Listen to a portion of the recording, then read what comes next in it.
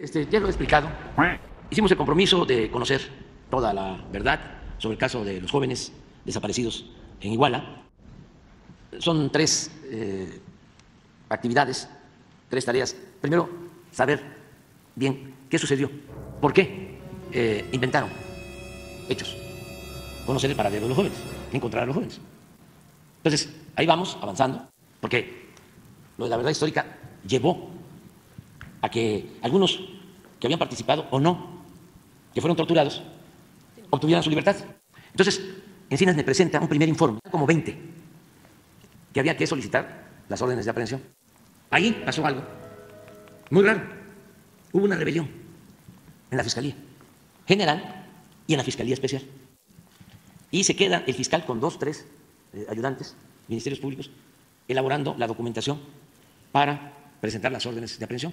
Y renuncian ministerios públicos. Y renuncia el mismo fiscal. Entonces, me llamó mucho la atención. Para eh, dinamitar la decisión de actuar, quieren de último momento incorporar a 10, 15 militares más, 20 militares más, pensando de que de esa manera íbamos a dar marcha atrás, de que no íbamos a actuar, porque no íbamos a querer tener un problema eh, con el ejército. Entonces, ¿por qué di eh, la orden por escrito?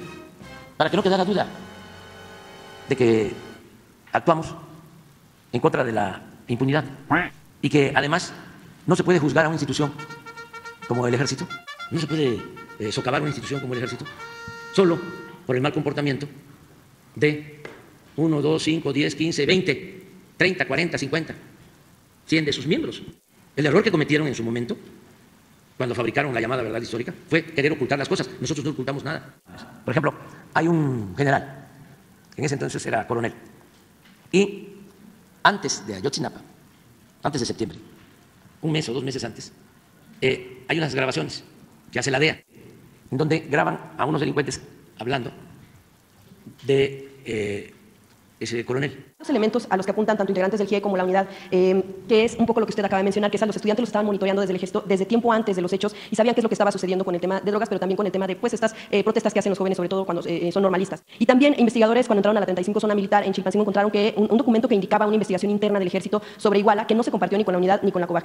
Y también qué es lo que sucede con toda esa información que es por la que ellos salieron y que dicen que es por la que el ejército se resiste. Son conjeturas.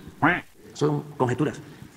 Eh, si ellos tienen eh, elementos, pruebas, que las presenten. Son las que le están pidiendo al ejército porque son las que encontraron ellos a poder entrar. Bueno, si las encontraron, pues a ver que las den a conocer. Porque todo lo que tiene eh, la Secretaría de Defensa se ha entregado.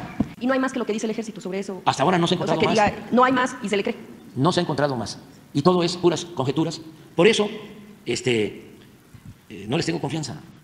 jamás vamos a ocultar los hechos. Jamás vamos a permitir la impunidad. No somos iguales.